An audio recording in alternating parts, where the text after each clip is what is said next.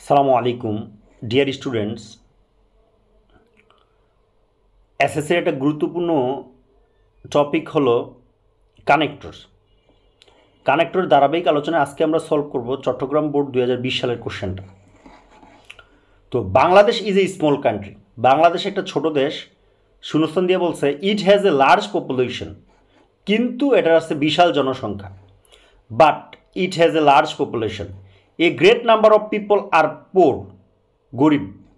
হ্যাঁ অনেক সংখ্যক লোক গরিব ড্যাশ ইলিটারেট গরিব এবং অশিক্ষিত, এবং ইংলিশ কি? And and illiterate C number we want to develop the country we must control the rapid growth of population তো ইফ যদি we want to develop the country we must control the rapid growth of population অবশ্যই আমরা কি করব?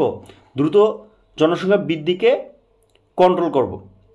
D number দিয়ে বলছে we have to face a great problem অন্যথায় otherwise otherwise we have to face a great problem অন্যথায় আমাদের বড় সমস্যার সম্মুখীন হতে হবে।